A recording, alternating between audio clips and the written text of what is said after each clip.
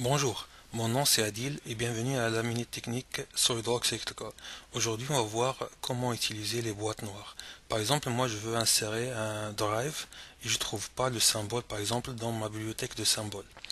Donc dans ce cas je vais, je vais cliquer sur insérer boîte noire. Je mets le premier point, le deuxième point pour insérer mon symbole.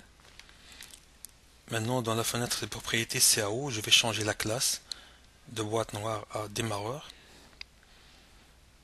Je vais sélectionner. Je change aussi la racine pour DRV.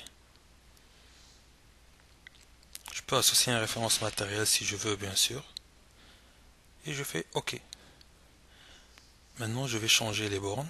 Je fais clic droit, éditer les bornes. L1, T1, L2, T2, L3, T3 et GND pour le ground. Je fais OK et voici mon symbole donc rapidement.